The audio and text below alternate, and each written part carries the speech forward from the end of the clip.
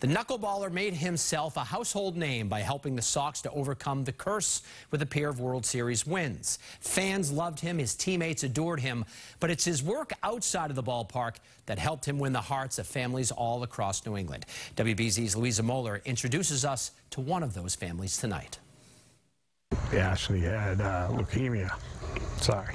I get a little emotional when I talk about it, but uh, Mark Cashell can't help but get choked up when he thinks about his smiling little girl and the years she spent battling childhood cancer. he was very sincere.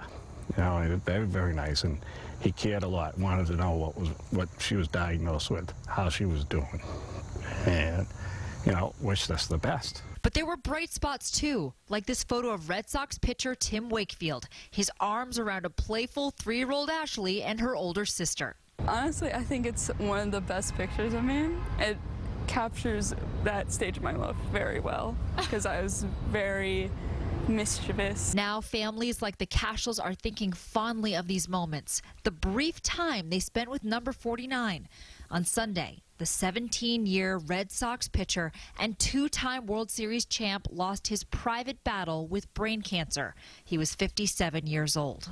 If you looked on Facebook today, you'd see they all have pictures.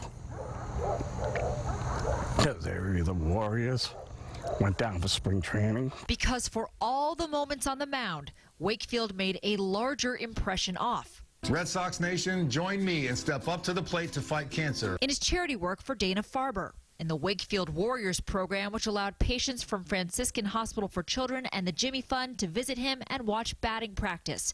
In one instance, Dana Farber, director of patients Lisa Sherber, remembers Wakefield helping a teen named Robbie who had just lost his leg. Robbie was at the back row. I don't know how he ended up in the back row, but he kind of stood up and he started hopping down the grandstand stairs. That's when Wake stepped in.